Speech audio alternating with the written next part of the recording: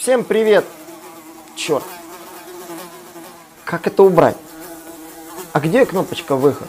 Всех достали эти раздражающие окна. Эти уведомления, которые вылазят в браузере, которые иногда трудно закрыть, но они есть. Их агрессивно используют маркетологи. Конечно же, с какой-то целью. Конечно же, хотелось бы узнать эту цель, и сегодня мы в этом ролике ее детально разжуем и расскажем. Сегодня ролик про всплывающие или поп-ап окна. Меня зовут Николай Шмычков, это канал SEO Quick. Поехали! Эти уведомления на самом деле появились достаточно давно. Первые уведомления появлялись, конечно же, на сайтах в качестве рекламы. Например, мы зайдем на сайт интернет-магазина и, конечно же, должно всплыть это самое уведомление. Ну, на первом сайте нам, допустим, не повезло, но на втором сайте нас встретило большое уведомление на какой-то день шопинга. Третий магазин нас э, радует новым видом уведомлений, которое вроде бы ничего не продает. То есть давайте вернемся. Первый вариант это ваша цель привлечь трафик на какую-то услугу. Этот баннер направлен на то, чтобы вы перешли, изучили условия там, акции, которые они там продвигают этот самый день шопинга и посмотрели, что собственно продается. Поэтому первый вид э, баннеров, которые всплывают по поп окна, это конечно же баннер, который фактически ведет нас для того, чтобы увеличить наши продажи. Второй вид баннера – это баннер, который предлагает уточнить мне мой город. Нет, я не в Москве, я сейчас нахожусь в солнечной Одессе. И в данный момент э, этот немножко баннер, да, вот видите, чем он отличается. Куда бы я ни нажал, я не могу посмотреть свой контент. В то время как у первого баннера нам контенту вообще ничего не мешало, мы могли смотреть, листать, вообще не обращать на него внимания. И третий вид баннера, который мы видим, да, это баннер, который ограничивает наш контент, но он э, уточняет, сколько мне лет. Если я нажму, нажму, допустим, не исполнилось, меня выкинет вообще на раздел товары для детей. Оригинальный способ выкинуть меня из раздела, на котором я быть не должен. Вот. И при попытке вернуться назад, э, он обратно, по идее, должен меня переспросить. Вот он, собственно, что и делает, он переспрашивает. Конечно же, вы скажете, ну, это что-то вроде вообще очень такой сомнительной защиты. Но для поисковика этого достаточно, чтобы, ну, как бы пользователь взял сам на себя ответственность в договоре оферты, он сам соврал о своем возрасте. Получается, защита чисто такая для галочки, но она есть и она существует. Именно таким образом ограничивается контент на сегодняшний день в поисковиках. Когда появится более совершенный способ определения возраста пользователя, э, мы, конечно же, не знаем, но, возможно, это появится в дальнейшем. Возможно, поисковики будут как-то это и система операционная будет как-то это агрегировать. На сегодняшний день пока только в качестве таких заглушек. Но мы сегодня говорим как раз о теме pop-up окон. Обратите внимание, первое pop-up окно закрывалось и легко убиралось, второе pop-up окно легко загорается и есть два выбора, третье pop-up окно никак не закрывается, но у него есть два выбора. Вроде бы все окей, интересные вариации этих pop-up окон, но давайте немножко перейдем к классификации. Итак, перейдем к классификации. Давайте посмотрим, какие бывают два вида окон. На первом месте у нас так называемое модальное окно. Модальное окно это такое окно, которое было показано последним у нас, и оно блокировало доступ к основному интерфейсу, пока пользователь с этим окном не разберется. Знакомо, да, когда в Windows есть какое-то окошко, и вы не можете ничего нажать, пока не закроете предыдущее. Вот, это и есть то самое модальное окно, оно блокирует доступ к предыдущему контенту, пока не будет выполнен диалог. Когда человек не выполнит диалог, который предлагает это модальное окно. Именно с этими окнами сопряжено максимальное количество проблем. Конечно же, с ними и будут. У нас сегодня очень много разговоров. Второй тип окон – это не модальные окна. И это окна, которые чаще всего выезжающие, всплывающие, появляются где-то с уведомлением, но они никак не блокируют взаимодействие с вашим контентом.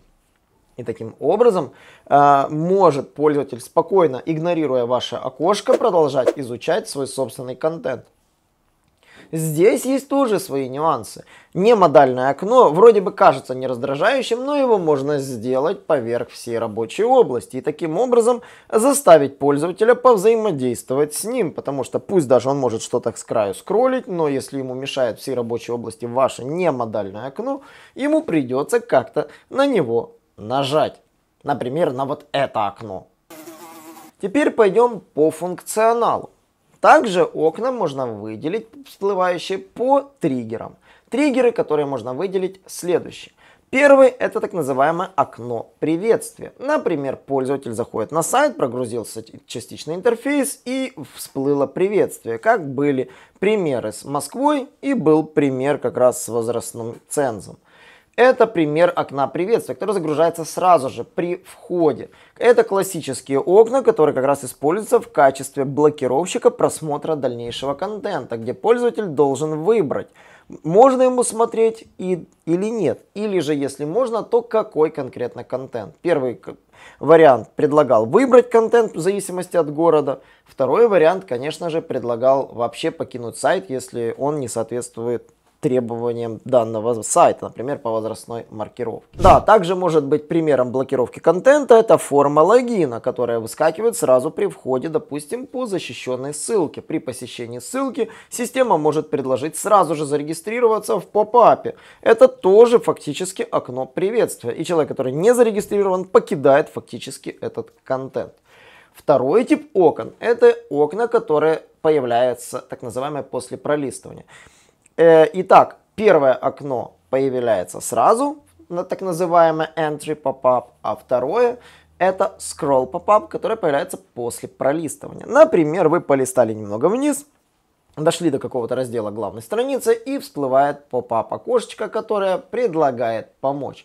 Здесь фактически pop-up окном может быть целый чат, который появляется сбоку. Да, фактически чат это тоже формально окно, с которым можно взаимодействовать. И он появляется чаще всего после скроллинга, а не сразу при открытии.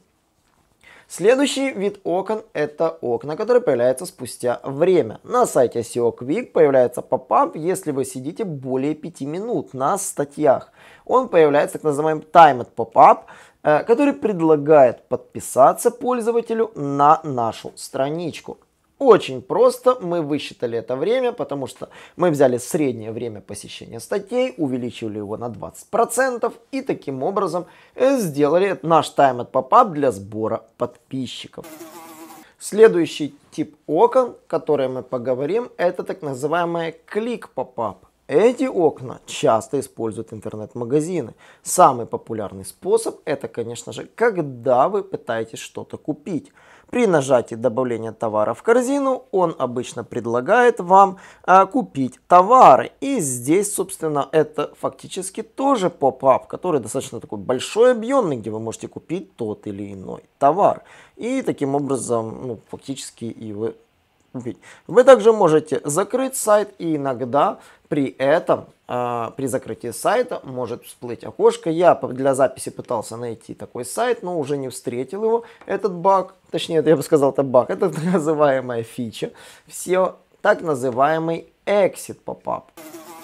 Но я нашел примеры, где есть эти exit pop-up. Поэтому я решил полистать статейку, нашел хорошую статью Бена Джонсона про exit pop-up, и где он рассказывает самые яркие примеры, которые используются при закрытии, да, там, присоединяйтесь там к какому-то числу маркетеров, да, там, при закрытии сайта, поп-апчик, который говорит, друг, ну, пожалуйста, перед закрытием сайта уби... присоединись к нам. Или, допустим, предлагать человеку там поучаствовать в демо, да, при закрытии страницы. То есть вот такой яркий тоже пример. Действительно, подписаться на специализированные письма, да, ну то есть не на просто на email рассылку, а на конкретную email рассылку. Вот. Предоставить гиг, э, бесплатный гайд. Допустим, при чтении, да, Пускай человек оставит e-mail и, да, и выделяет там no thanks, I'm not interested кнопочку менее ярким цветом, да, а самую яркую, собственно, более ярким цветом. Мы уже начинаем забегать потихонечку в дизайн. Вот. Следующее, да, это подготовить так называемое специальное предложение, э, предложить что-то бесплатно, э, придать целый курс человеку бесплатно, то есть провести опрос, ну то есть, как вы видите, предложить скидочку, э, сделать адрес, ну, допустим, помочь там э, в других вещах. ну и многое другое. Там бесплатная доставка, как видите, задать вопрос, конечно же, ну такой попап, конечно, я вообще бы закрыл бы чертям. А, но на самом деле есть очень интересные варианты, и вот очень простой. Вот еще то же самое, там, не подписчикам, да, там бесплатные полеты, то есть получать информацию. Тоже бесплатная доставка, подписка на блог. Вот, ну, собственно, это сбор лидов классический. Вот, ну, предложить пообщаться с, э, собственно, с техподдержкой, там, типа, прежде чем уйти. Вот. Ну и, конечно же, ну, банально предложить денег. А, ну, на самом деле, как вы видите, способов, да, делать хорошие call to action элементы, да, непосредственно в дизайне, это работает. Очень важно, да, правильно, ключевые вещи, это call to action элемент продуманный, это, собственно, текст, изображение, таргетинг, правильно выверенный тайминг, вот, собственно, что, собственно, в статье и говорится. Ну и софт, которым можно делать тот самый поп-ап окна, их очень много, существует разных способов, их можно делать своими руками, можно использовать готовые существующие решения. Готовые иногда более удобные мобильные настройки и имеют хорошие ну, как бы, возможности в аналитике. Поэтому я бы и присматривался к готовым решениям тоже. Но мы говорим сейчас про exit попапы, и эти exit попапы, они срабатывают обычно при попытке покинуть страницу. Да, при закрытии страницы срабатывает триггер показать то самое всплывающее окно так называемое exit pop-up, собственно, так он и называется. И теперь мы приходим к следующему вопросу, а какое лучшее время для показа ваших поп-ап окон. Сейчас под этим видео, скорее всего, соберется много комментариев, которые будут говорить, что их раздражают поп-ап окна. Но и вы меня смотрите, зрители, потому что я знаю, что вы все мыслите рационально и умно. Но не все пользователи сети мыслят рационально и умно. Вы должны об этом понимать и придерживаться этой идеологии. Не все мыслят так, как вы. И иногда проблема в том, что мы иногда мыс пытаемся мыслить, как мы думаем, и пытаясь это переложить на других пользователей, на пользователей нашего ресурса, и мы, получается, проваливаемся. Э, все решает сухая статистика. В одном из исследований в ходе теста проверяли вот эти оверлей э, по задержке на 15, 30 и 45 секунд и проверяли, какой э, вариант будет эффективней. Пока я говорю это видео, вы можете, конечно же, накидать в комментариях варианты ну, своего, своего мнения, но на самом деле, внимание, ответ. Первый вариант 15 секунд оказался на 11% эффективнее вариантов 30 секунд и на 50% эффективнее вариантов 45 секунд. Причина простая. Пользователи могут столько не находиться на этой странице и могут не повзаимодействовать с вашим попапом. Они очень быстро перелистывают страницы, либо покидают их. Поэтому максимально короткое время является максимально эффективным. Постарайтесь это вложить. Но вы можете зайти за пределы и выводить попап слишком быстро. Поэтому вот оптимальный вариант 15 секунд, как показал, вот в это время нужно копать. Между началом посещения и до 15 секунд вы должны найти свое собственное время, своего ресурса, на котором показывать тот или иной попап. Давайте поговорим о самых популярных видах поп-ап окон. Я, конечно же, порыл, пошуршал в прессе, решил посмотреть, какие они существуют. Нашел хорошую статейку и решил перебрать все самые популярные. Первый вариант, конечно же, это Lightbox. Lightbox это когда поп-ап появляется поверх вашего дизайна, но при этом весь задний фон затемняется. Этот вид поп-ап окон самый популярный, самый известный вообще везде где-либо, который используется по функционалу. Второй тип поп-ап окон показала мне сама статья, из которой я, собственно, решил черпать идеи. Это так называемый поп-ап с выбором, где мы должны подтвердить результат. Обратите внимание, поп-ап с выбором появился внизу. И здесь у нас есть только одна кнопочка «Да». Мы должны просто ее принять. Нету кнопочки «Нет», нет кнопочки закрытия. Так называемые куки поп-ап. И здесь есть ссылочка. Можно почитать про эти самые настройки куки.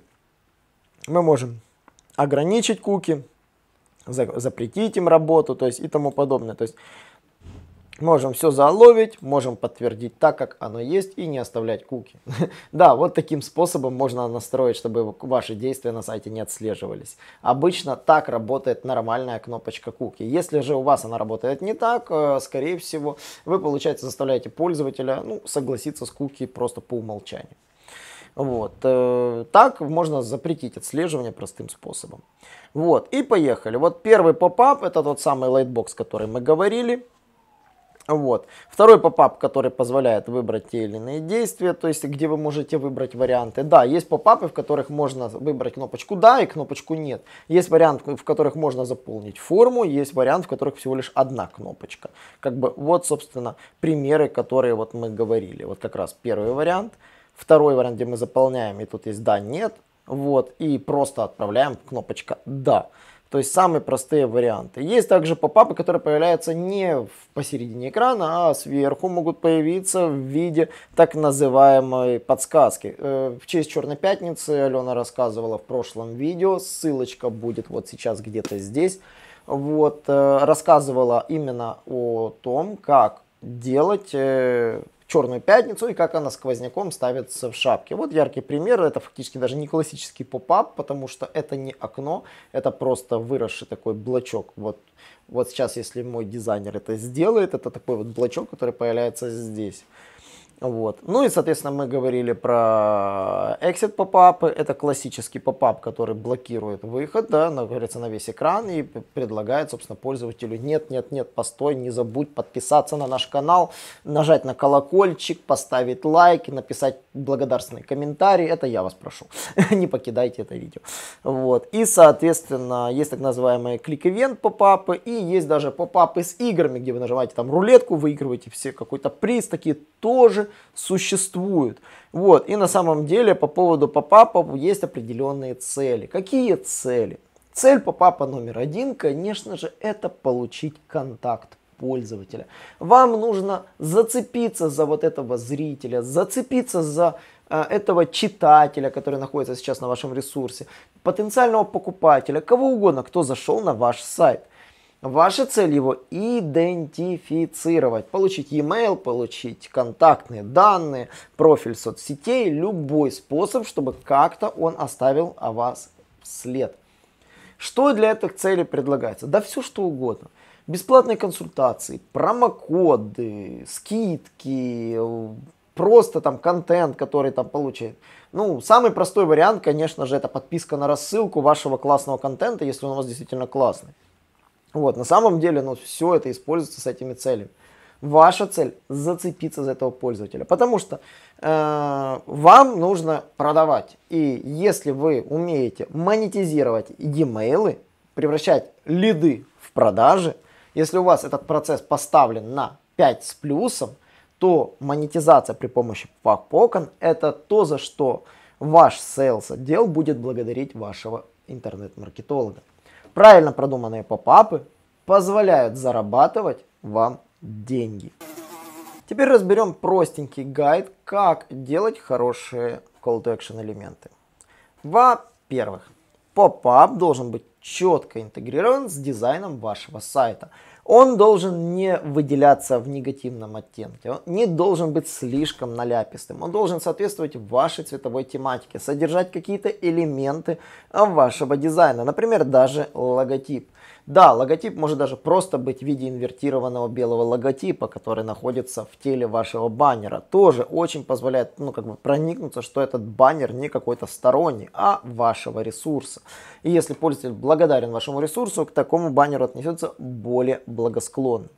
Второй момент, вы должны четко уметь работать с call to action элементами. Психология call to action это тема отдельного ролика. Я думаю, я его запишу, если это видео насобирает много лайков. Насобирайте лайков, я расскажу, как делать клевые call to action. Поделюсь своим фидбэком и расскажу, почему отправить заявку это самый плохой call to action. И тех, у кого написано «отправить заявку на сайте», напишите в комментариях. Да, у меня до сих пор стоит на форумах «отправить заявку». Вот. А, поэтому давайте говорить о том, что попап это маркетинг, а маркетинг в 2021 и в будущем 2022 году развивается, не стоит на месте, и маркетинг это равно психология. Третий момент это, конечно же, контрастные цвета Call to Action элемента. Старайтесь сделать так, чтобы элемент нет не был выделен. Ну, это не совсем не надо его делать не выделен. Он должен быть выделен, на него можно кликнуть, он должен выглядеть как будто это все-таки кнопка. Но тот, кто хочет, я не заинтересован. Но умейте работать с выделением цвета важного call to action элемента и работайте с контрастным нет call to action элементом. Например, если вы хотите, чтобы пользователю было стыдно нажимать нет, напишите нет, я не хочу много знать о SEO. Вот, например, да, вот под нашим попапом. Я не хочу знать новости о SEO, мне это не интересно. Окей, пользователь сам себя ставит в мысленное противоречие, что ему это неинтересно. И он как-то глупо нажимать на эту кнопку, да. Он, я читаю статью, да, я зашел на SEO сайт, решил почитать SEO статьи, ему предлагается подписаться на новости, клевые новости по SEO свеженькие, либо нет, мне это неинтересно, я здесь мимо крокодил. Вот. Э, пожалуйста, да. Ну, то есть самое главное, чтобы она была, она должна пристыдить кнопочка нет этого человека, который должен ее нажимать, чтобы ему не захотелось на нее нажать, чтобы он все-таки отправил вам свои данные данные. Да, выделение в позитивном свете call to action элемента для да важнее, чем просто поставить две кнопки красную и зеленую. Поверьте мне, это даже может быть даже сработать негативно. Если он негативно настроен нет, он нажмет нет. Если вы сделаете зеленую да, а бесцветную нет, скорее всего он нажмет да. Психология в этом цвете точно такая же. Следующее, конечно же, что работать, конечно же, с разными форматами.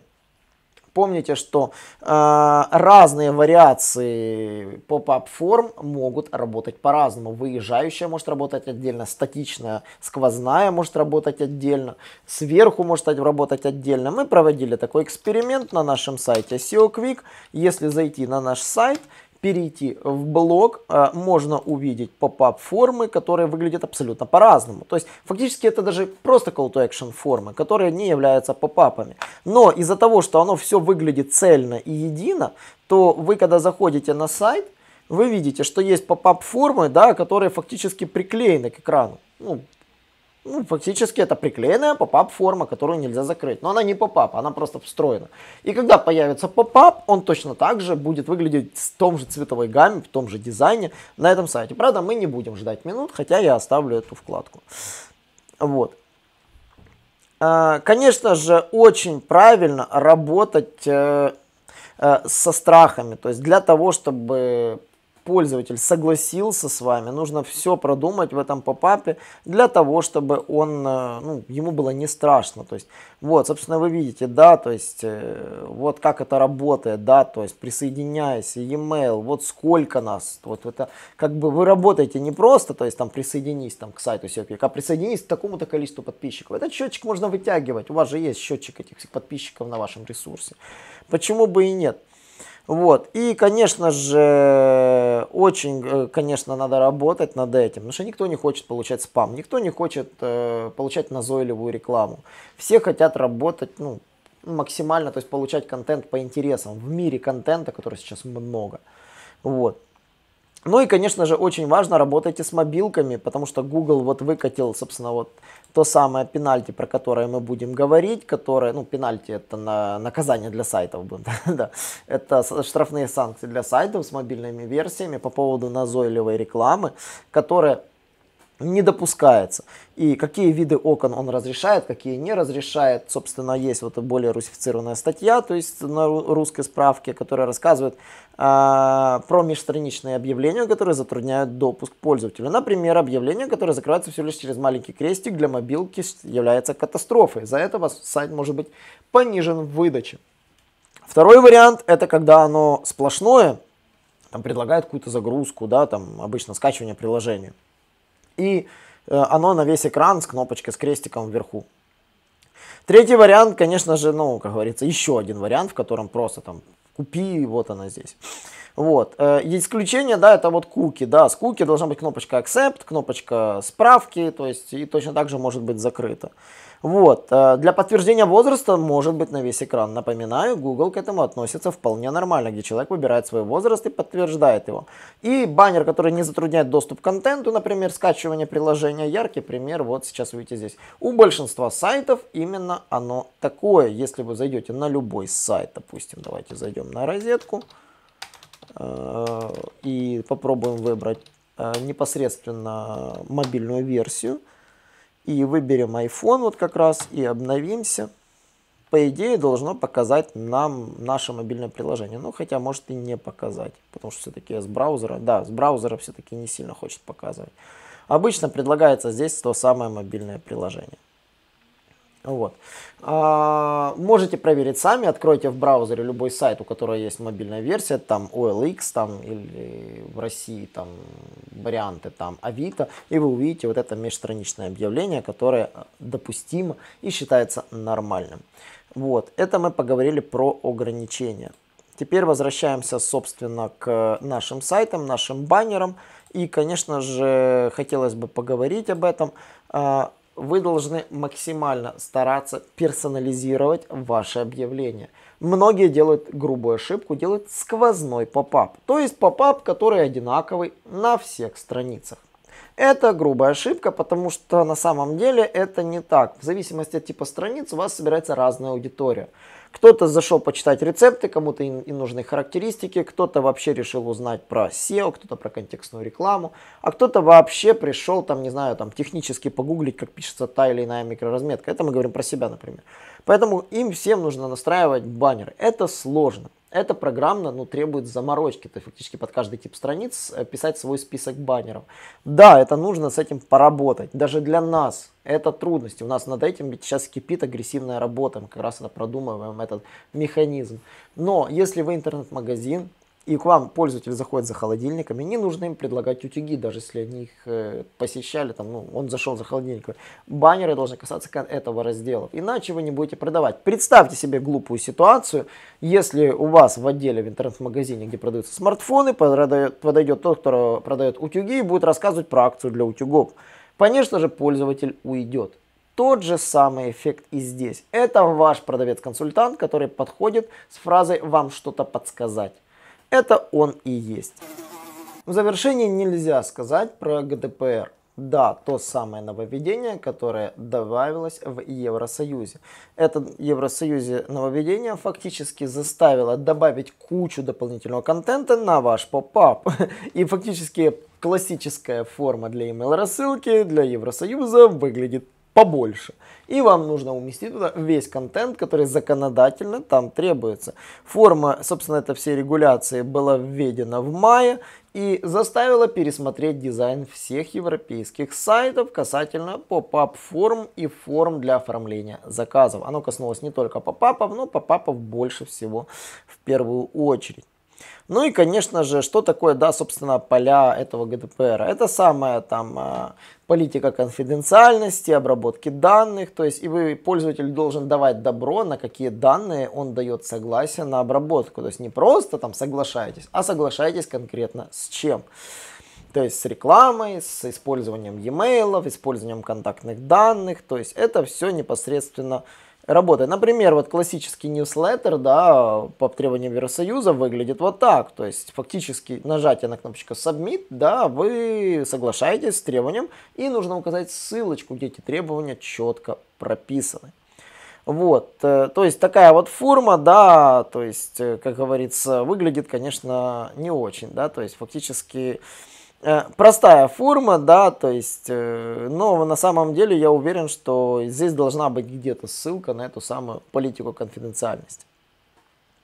Вот, яркий пример, вот как выглядит вот э, Smashing Magazine, да, это журнальчика, как выглядит форма email рассылки и, собственно, как это все сделано. Э, итак, поехали. Что еще очень интересно. В формах, да, то есть, конечно же, добавляются дополнительные ограничения, но самое интересное, что мне понравилось, это age verification. Это, собственно, подтверждение возраста. Э, можно вставлять фактически, на, если у вас весь контент такого типа, на каждый попап у вас нужно вставлять подобную строчку. Я подтверждаю, что мне столько-то лет, да, там, и разрешаю использовать свои персональные данные. Вот. На самом деле в Google Ads уже начинают тоже вводить требования на то, что на вашем сайте должны быть созданы соответствующие страницы.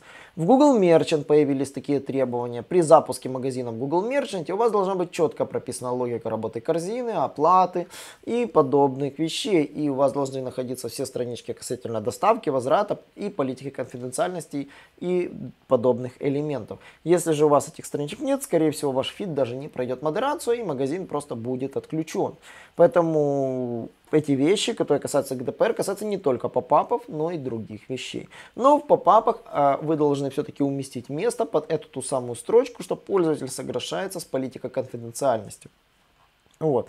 Конечно же, э, тема достаточно интересная по поводу ГДПР. Как с этим, собственно, европейские сайты справляются, можно посмотреть на примерах, сделать анализы конкурентов и посмотреть, какие поп-ап-формы, в каком дизайне используются, как они выкручиваются и используют те или иные решения для того, чтобы не нарушать этот закон. Подомем итоги. Всплывающие окна на самом деле это мощный инструмент по лидогенерации. На нашем сайте основной трафик приносит нам блог. Именно блог позволяет нам собирать огромное количество аудитории везде, где угодно. непосредственно с разных источников люди читают наши статьи, смотрят наши видео, переходят, потом читают наши статьи. Но именно благодаря сайту получается собирать всю информацию. Соцсети не позволяют так а, эффективно лидогенерировать, как сайты. На самом деле есть в этом определенный нюанс, потому что сайты более гибкие в настройке, в сайте можно работать с контентом более мощно, чем вы это сможете сделать в соцсетях за счет их встроенных механизмов. Да, не спорю, многие сейчас могут найти кейсы, как из соцсетей получается делать, выжимать больше продаж, как интернет-магазины за счет этого на Инстаграме выживают. Но и в целом сайт всегда будет крупнее по деньгам и более денежным, чем любая другая платформа. И методы монетизации через поп-ап окна это то, про что мы сегодня и поговорили. Как они делаются программно, здесь эта тема чуть-чуть другого формата. Моя цель была донести, как окна можно делать, как их не нужно делать, собственно, чему уделять в дизайне. И самое главное, никогда в поп-ап окнах не забывайте о том, что все зависит от креатива и тестирования. Невозможно создать с первого раза идеальное окно. Все окна меняются, меняются, дорабатываются и допиливаются. На этом все. С вами был Николай Шмычков. Спасибо вам за лайки, подписки и колокольчики. Пока-пока.